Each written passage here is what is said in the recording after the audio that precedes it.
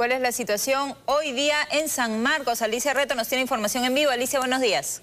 ¿Qué tal, Fiorella? Carlos, ¿cómo están? Muy buenos días. En efecto, nosotros nos encontramos en la puerta número uno de la Universidad Mayor de San Marcos, la puerta que colinda con la Avenida eh, Venezuela. Y ustedes están viendo en estos instantes cómo luce este eh, sector de la universidad esta mañana luego del violento enfrentamiento que tuvieron los alumnos con eh, miembros de construcción civil, con los obreros encargados de esta obra. Palos, piedras, desmonte ha quedado regado aquí en esta pista y vemos también un detalle que es importante comentarlos. ¿Cómo queda en sí la universidad? Miren ustedes el muro, el muro derribado, ¿no es cierto? Y podemos ver que toda la universidad en todo su alrededor está totalmente desprotegida puesto que los eh, muros están en el piso, han colapsado. Yo quería presentarles un detalle y lo vamos a hacer rápidamente, por favor.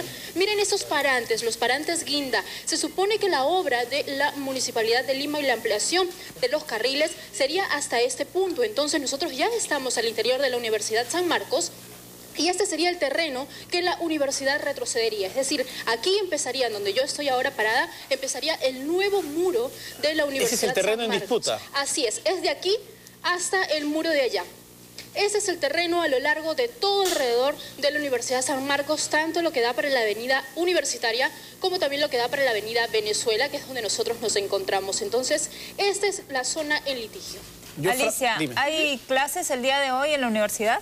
Bueno, eh, oficialmente sí habría clases, pero ¿qué pasa? Que hay algunos alumnos que mantienen tomado el rectorado y entonces el día de ayer por los disturbios se suspendieron las clases. Entonces, esto es aún una información que no está confirmada. Se supone que sí habría clases, pero eh, en realidad esto también depende de la actitud y la conducta de los alumnos el día de hoy.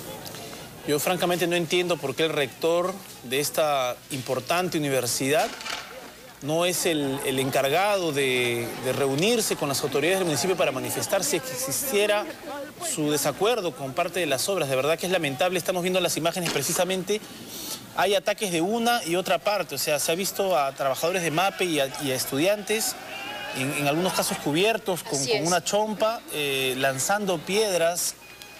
En efecto, Carlos, justamente mira, eh, nosotros vamos...